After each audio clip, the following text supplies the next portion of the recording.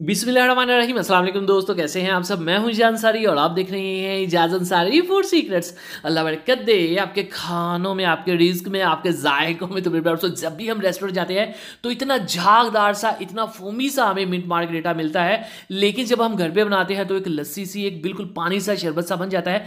इसको किस तरह से इतना गाढ़ा सा किया जाता है? इसमें कौन सी चीज़ है जिसके बगैर इसका फ्लेवर निकल ही नहीं सकता? अंदर की आज आपको बातें बताऊँगा। इनशाला नेक्स्ट रेस्ट रेस्टोरेंट से नेक्स्ट लेवल का मिड मार्गरीटा आप घर पे बनाएँगे बगैर किसी केमिकल के, बगैर किसी चीज़ के। और इसके कौन से स्पेशल मसाले हैं इन आज आपको सभी चीज़ें बताऊँगा। ये रेस्टोरेंट्स में नॉर्मली पाँच से छः का मिलता है और टैक्स डाल के ये सात सौ के करीब चला जाता है। यकीन करें, दस, पंद्रह, बीस रुपये में आप इसको घर पर बना सकते हैं। अब यहाँ पर अहम बातें नोट करें।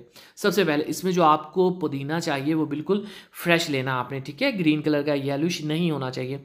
उसके बाद इसकी हमें जस्ट पत्तियाँ चाहिए। तने जो है, उसको उसको आपने रिमूव कर देना है, ठीक हो गया?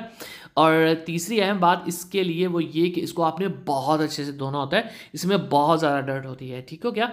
अब चलते हैं मसालों की तरफ़ तो पहला मसाला है हमारे पास लेमन तो इसमें लेमन के एक स्लाइस ज़रूर ऐड किया जाता है खूबसूरती के लिए, ठीक है? इस टाइप के स्लाइसेस आपने लेमन के ज़रूर काटें। अब सबसे बड़ा मसाला जिसके बगैर मिंट मार्गेटा बंदी ही नहीं चला ये है काला नमक, ठीक है? ये आपको नॉर्मली हर स्टोर से अवेलेबल होता है। इन केस आपको ये वाला काला नमक नहीं मिल रहा तो आपने जाना है हकीम या पंसारी की शॉप पे। वहाँ पे आपको ये बहुत इजीली अवेलेबल होगा, ठीक है? चलें जी, अब हमने इन पत्तों को अच्छे से धो लिया है। अब आपने जिस चीज़ पे फोकस करना है, वो है क्वांटिटी ठीक है? ये आप पत्ते देख रहे हैं, कितने सारे हैं? ये सभी पत्ते जस्ट तीन गिलास के अंदर हमने ऐड करने हैं, ठीक है?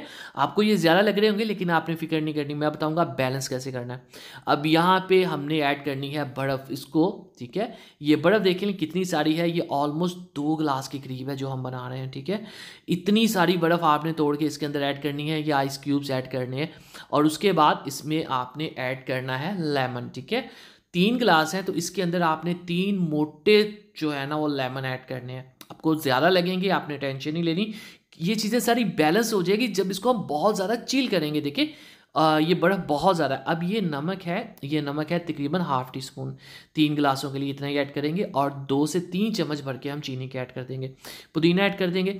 अब ये पुदीने की क्वांटिटी आपको ज़्यादा लग रही होगी। नमक की भी शायद ज़्यादा लग रही हो।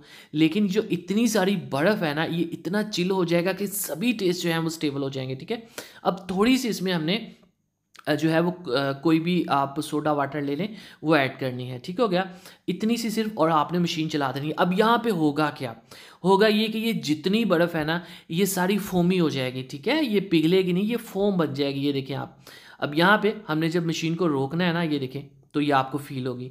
यहाँ पे हम क्या करेंगे, जब ये बिल्कुल फोम सी बन जाएगी, तब इसके अंदर जो बाकी सोडा वाटर है, वो हम इसके अंदर ऐड करेंगे। ये बाद में इसलिए ऐड कर रहा हूँ, ताकि वो बर्फ़ जो थी वो अच्छे से फोम बन जाती, ठीक हो गया?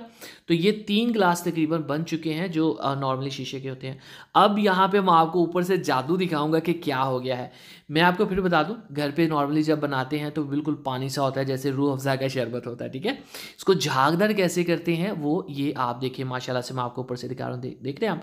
और ये यकीन करें, पिघलती नहीं है जल्दी। आपको देखने में लग रहा होगा कि इसको हम निकालेंगे, ये पानी बन जाएगी। नहीं नहीं नहीं, ऐसा बिल्कुल नहीं होने वाला। चलें जी चलते हैं। फाइलों की तरफ़। बिस्मिल्लाह तो माशाल्लाह, अल्हम्दुलिल्लाह देखें जी, मेरे अल्लाह की शान, उसकी रहमते, नेमते और बढ़ते जो दूसरे मात्रों में करूँ तो pure restaurant style even better than restaurant mint margarita तैयार है।